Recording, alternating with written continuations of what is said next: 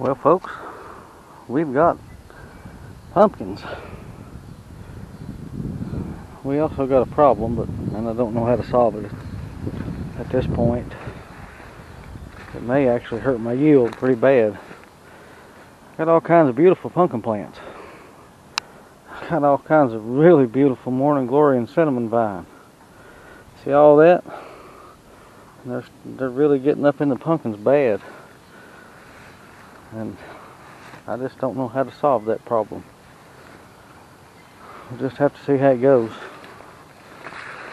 But anyhow, that's what uh, we've had 10 or 12 inches of rain over the last month and just about six, eight weeks.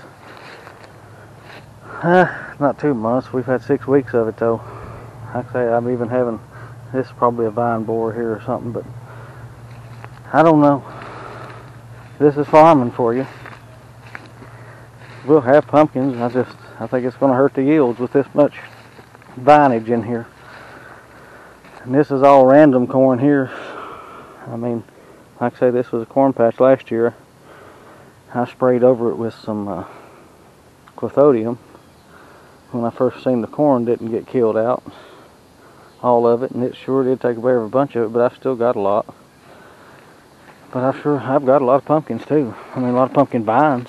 Let's put it that way. They're going to have to start setting on though. And like I say, I hope they do. I mean, because that's that's part of that's a big part of our farming. But anyway, I thought I'd give you an update there and show you farming ain't always easy. I do see something down here I'll show you though while I'm over here. Real neat little thing. Uh, don't know if anybody's ever seen any of them. I know you have. It's the passion flower. Ain't it pretty? They run on this vine here, this green vine. And there'll be several of them in the patch. I don't mind them. They don't climb too bad or anything. We have those about every year, and they're native. But they are pretty flowers now. I mean, like I say, that's called the passion flower. Anyhow, like I say, just updating, and making a video here for you. See you later.